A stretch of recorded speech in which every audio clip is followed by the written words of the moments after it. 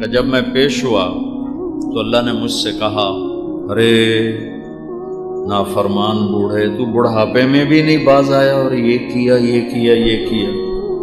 कहने लगे, मैंने अल्लाह की बारगाह में अर्ज़ किया। या अल्लाह, मैंने तो तेरे बारे में ये नहीं सुना जो आप इस तरह मुझसे बात फरमा रहे हैं। तो अल्लाह ने कहा, तूने मेरे बारे में क्या सुना है? कि जब कोई इस्लाम में बूढ़ा होकर मरता है तो उसे अजाब देते हुए मैं शर्माता हूँ। तो मैं तो तेरे पास बूढ़ा होके आया हूँ। तो अल्लाह ताला ने फरमाया, जाओ, माफ़ किया।